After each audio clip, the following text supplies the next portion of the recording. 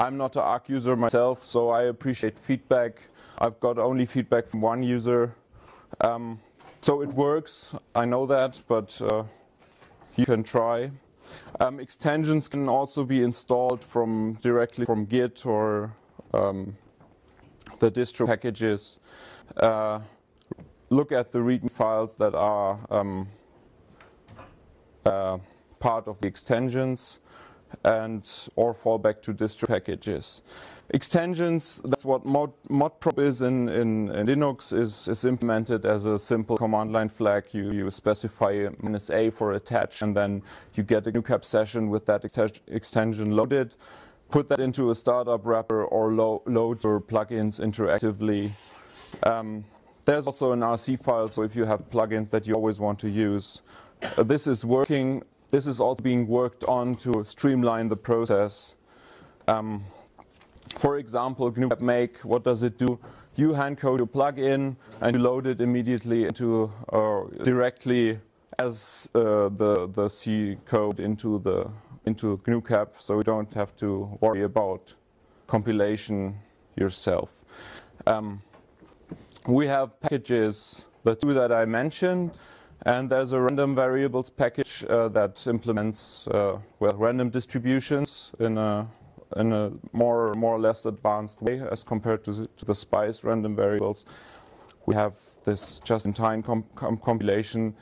We also have the, the GnuCap Quark project, which tries to, to implement a, a drop-in replacement for Qucsator, which is um, the simulator engine behind the Qucs project, or the default simulator engine. And a real-time audio processor is a, it's a toy project, but it works. and It's fun. You can use your stereo to, uh, or you can plug the uh, real-time process to your stereo and real-time simulate uh, audio filters if they are small enough or your computer is fast enough. And of course, we have lots of model packs uh, ready which are probably from from SPICE time where GnuCap was intended as uh, primarily as a SPICE replacement, which it still is.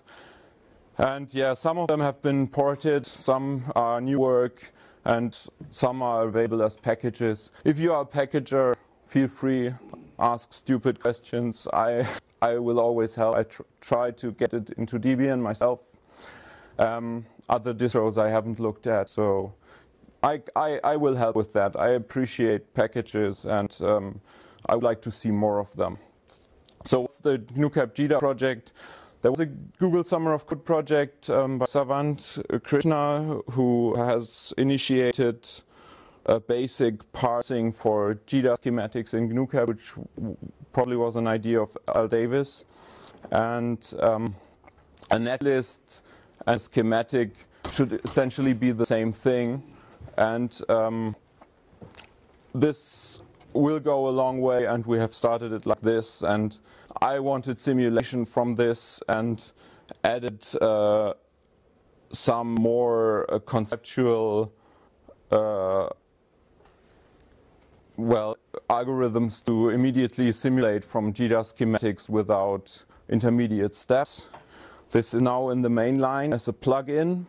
So the mainline um, now allows me to to plug in my own sub-circuit uh, implementation, which here takes care of netlist expansion from schematics. And um, I can use all these gEDA schematic, gschem hierarchy, build my hierarchical netlist in a gEDA schematic and directly run it in GnuCap or load it. And I've got some quirks uh, implemented. I call it default port values, which, which uh, takes care of some connecting connecting ports that are not representable in the symbols or not represented for other reasons. And uh, yes, Spice SDB, which you might know, uh, didn't cut it for me, and um, so this happened. And yeah, the, the architecture is pretty simple. You have this hierarchical schematic. Um, it uses symbols. Symbols have attributes. One is device. And uh, on, on the GnuCap side, the device specifies what device model will be used for that. and then you can either simulate or translate it one-to-one to a Verilog netlist. And you can interpret your results in the same namespace as your Verilog netlist or your schematic. There's no name mangling, there's no magic with, uh, with global nets. It's all in place and it's much easier to, to, to play with circuits and with simulation. And um, an example, this is the example I showed you last year in the same. Um, we have a um, simple low-pass subcircuit, and you, you might know the gEDA format. It has these coordinates in, and it has components like a resistor symbol, and the device attribute specifies what it is. And when I um, read that into GnuCap and dump it in Verilog, I get this um, as an augmented Verilog netlist, which is all top-level components with um, with coordinates. For example, there's a net and it has its places, and places are uh, attached to the to the to the wires, or um, so you can. Is this mouse available? Yes, you have uh, you have these x and y coordinates, which uh, which are sort of standard in, in Verilog. Um, these are used to to express what uh, what we need to to get the full schematic information covered in your in in this Verilog list. Um, yeah, what else? Um, I have started a component library that uh, supplements the the gEDA symbols. The gEDA symbols all have um, default device attributes, and I want them to resolve in a useful way. So I started um, to implement um, GnuCap components that, that just work as you would expect from, from what the symbols look like. And you can just change the device attribute and get anything behind that device that you might wish, like SPICE macro cells, which are often used, or even Verilog A models.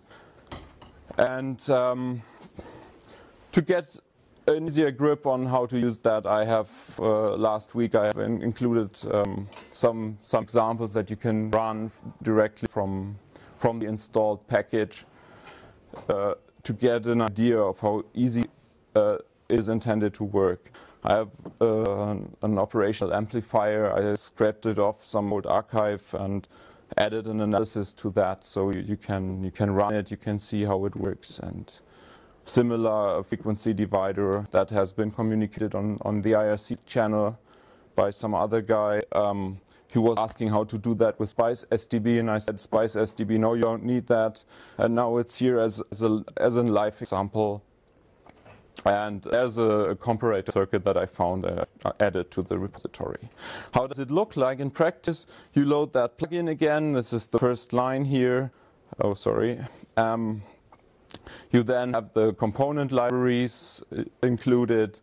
Um, the commands for, for fetching schematics are a bit weird. They could be streamlined. That's the first approach to that.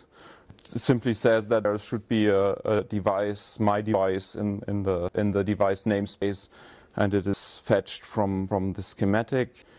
And then I, I can uh, switch to Verilog, do some other stuff, and even switch to SPICE, run a simulation, and get the results. This is a uh, this is a transcript of a GnuCap session. You can type in these commands. You can as well dump it into a file and read it directly into GnuCap.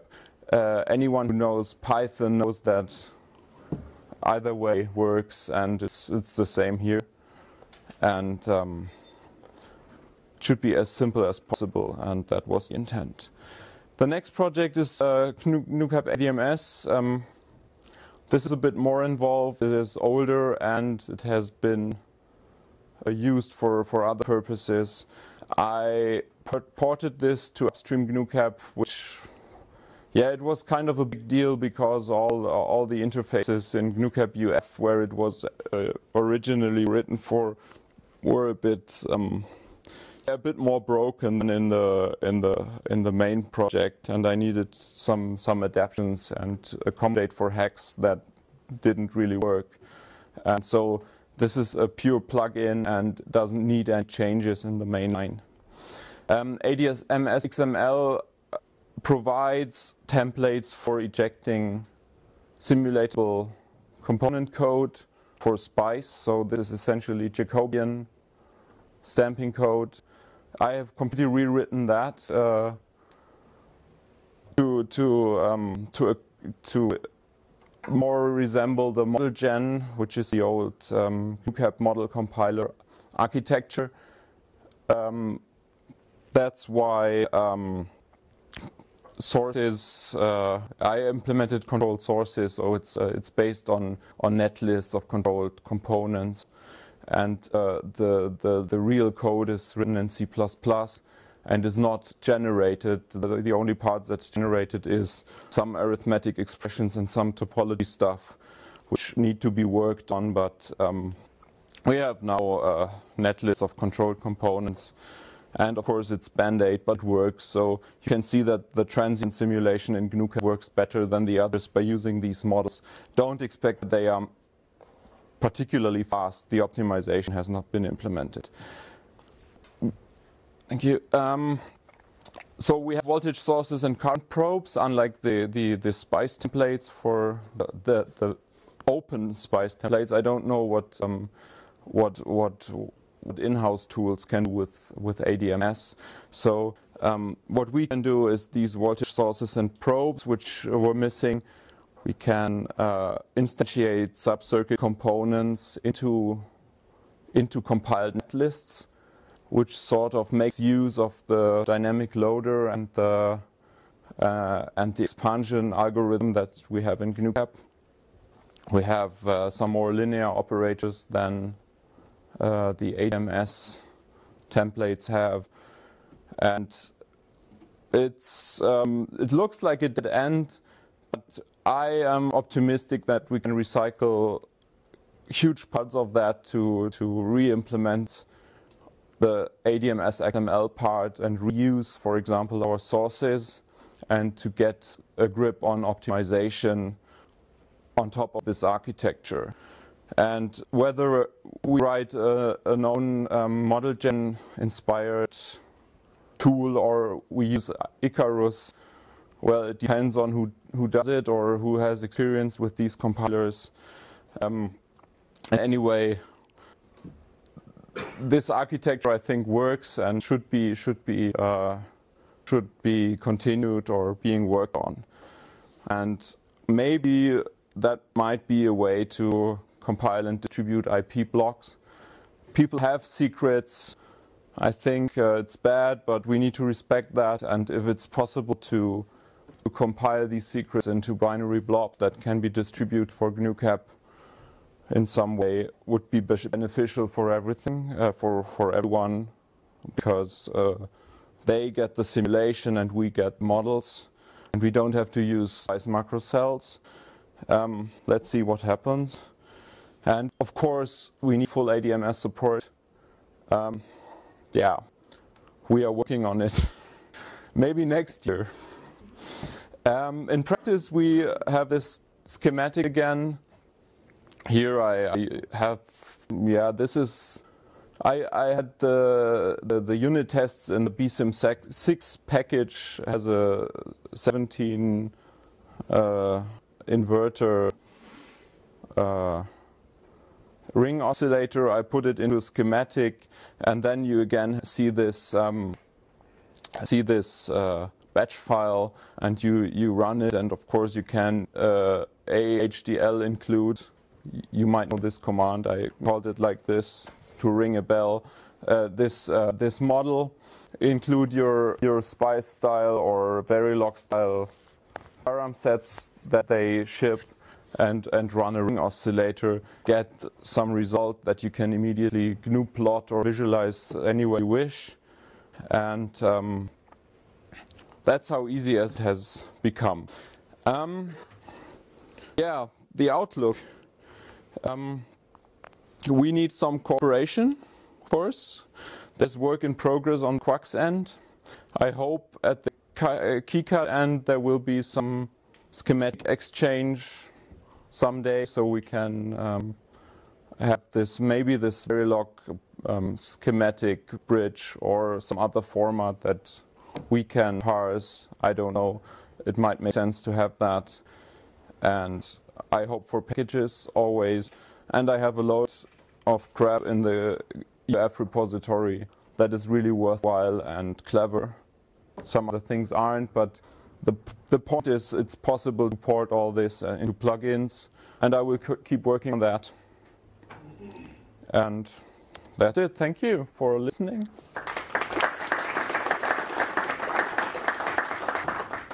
Questions? Questions? Um, boring one. Um, you mentioned binary blobs. Technically, is that going to be compatible from a licensing point of view? The question is whether binary blobs are license uh, in, uh, in, license terms uh, applicable to the project. Um, yes, they are because we don't link to the kernel.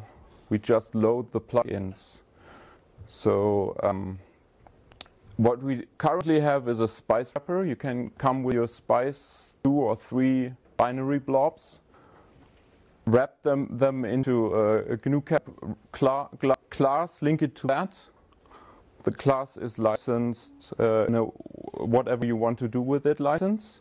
So you get this uh, binary blob wrapped for free and with every freedoms and without any license restrictions and can do what, whatever you wish with that binary blob.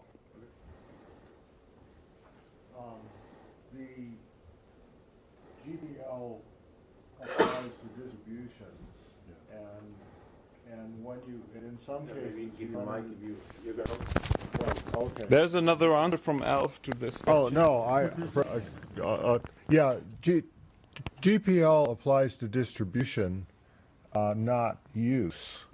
And so the, the, the- the bit about binary blobs, well, it's not our favorite thing, but sometimes the models come that way and we're stuck with it.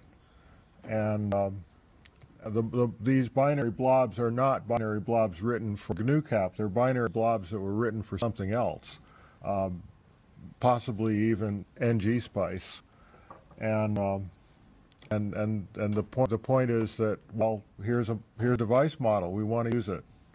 Uh, I I don't I don't really know where it came from, but somehow it's here, and um, so so by adding an extra layer, uh, it, it it puts it in a position where we can use this binary blob that was intended for something else, and um, map it to the uh, GNU-CAP interface. Make sense? Thank you. Okay.